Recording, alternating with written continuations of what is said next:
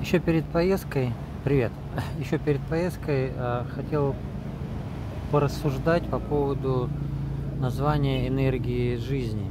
То, что вот я опускаю, поднимаю, но уже неделю не тренировался, но тем не менее. Что такое энергия жизни, которую мы вырабатываем э, в своем организме?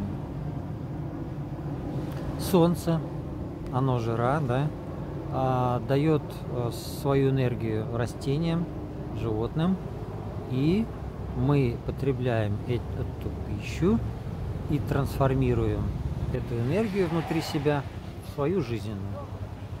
Так? Так.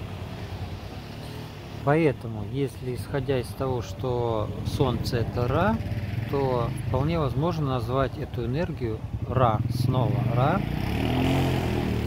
с учетом вот этого ну, нынешней ситуации и, и тех изменений, которые происходят в проекте освобождения. Разноцветная энергия тоже ра. А, поэтому я думаю, сейчас вот думаю об этом и склоняюсь к тому, что надо назвать энергией ра ту энергию, которую вырабатывает человек или которую получает в виде окраски.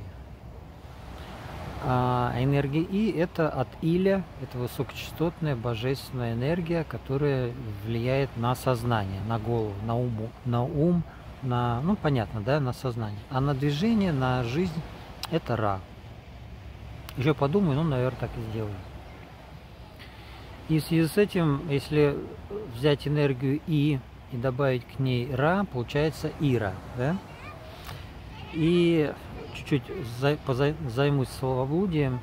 А, остров Санторини, как одна из версий, это Санта Ирина, то есть Святая Ирина. А Ирина это Ира. Санта Ира это значит э, Святая Ира. Ну тогда и Ира получается некое тоже такое созвучие. Конечно, это так, на уровне э, смешной версии, но тем не менее. Вот о чем я тоже подумал, что можно жизненную энергию назвать Ра. измерять в единицах Ра, а не Ж, как я предполагал раньше.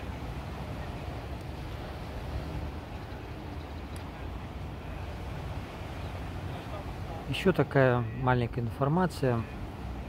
Проводник мне звонил и сказал, что ему передали высшие силы, что когда я тут находился, они тоже работали, или они в основном работали, а я просто тут ходил как ключик такой, или как нажиматель на какие-то кнопки.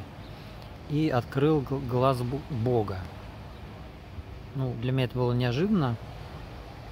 Но если посмотреть опять же на остров Санторини, или на группу островов, если точнее, то можно в нем видеть глаз со зрачком, где остывший вулкан.